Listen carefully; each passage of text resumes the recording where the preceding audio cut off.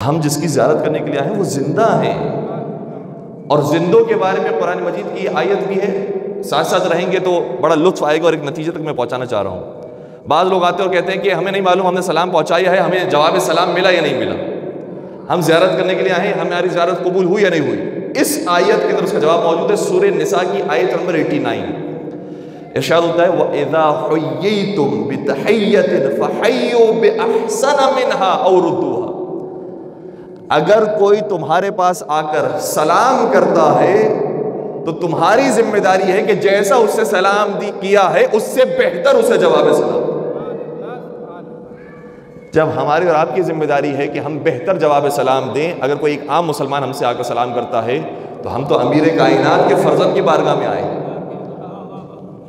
हम तो खुद रसूलुल्लाह की नस्ल की और उनकी औलाद की बारगाह में आए हुए हैं। तो क्या रसोल्ला के फर्जन इस सीरत पर अमल नहीं करेंगे, इस हुक्म कुरानी पर अमल नहीं करेंगे कि हमारा सलाम चाहे कितना ही हकीर क्यों ना हो, जो ज़िंदा होता है उसकी ज़िम्मेदारी यह है कि या वैसा ही जवाब दे या उससे बढ़कर जवाब दे।